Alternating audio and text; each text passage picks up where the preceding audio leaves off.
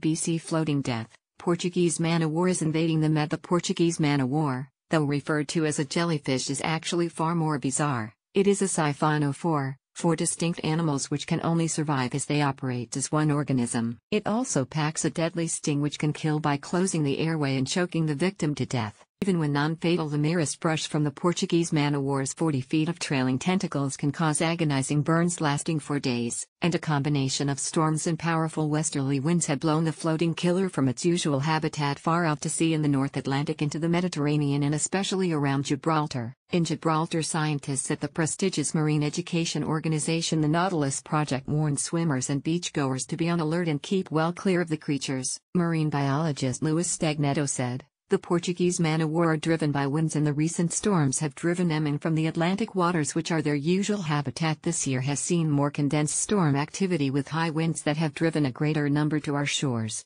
Portuguese man-o-war do not swim and are driven by winds. As soon as the winds change they will stop arriving on our beaches. They will head wherever the wind blows.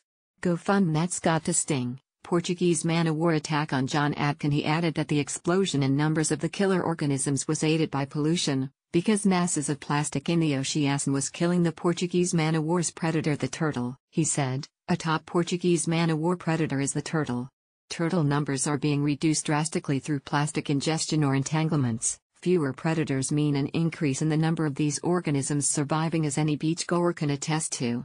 Speaking to the Gibraltar Chronicle Mr. Stagnetto advised best course of action following a sting is to seek medical advice. He said, there is conflicting information available on how to treat a Portuguese man-o-war sting. Some internet sites say use vinegar some say vinegar makes it worse so please don't rely on online sources. Portuguese man-o-war stings should be consulted with your doctor or vet.